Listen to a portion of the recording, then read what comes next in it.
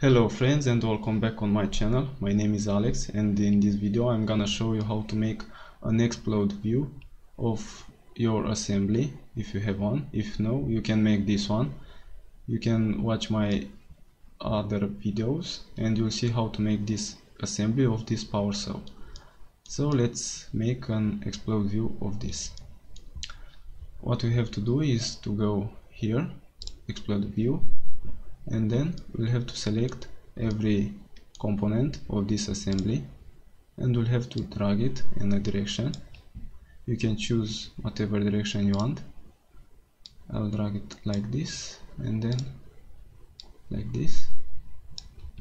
Okay now we'll select this one and we'll move it back there.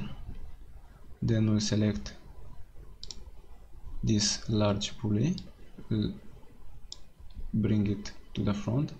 This small pulley the same. Then we'll select the motor. We'll drag it back and then to this side. And now we have the belt.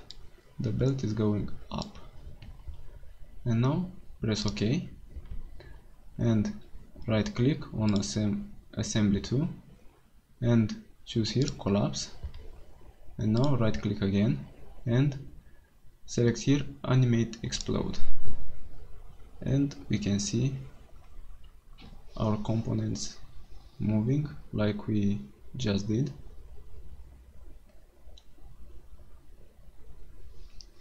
And this is all. Thank you for watching and I hope to see you in the next video.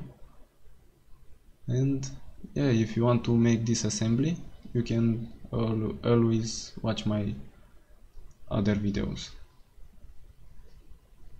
See you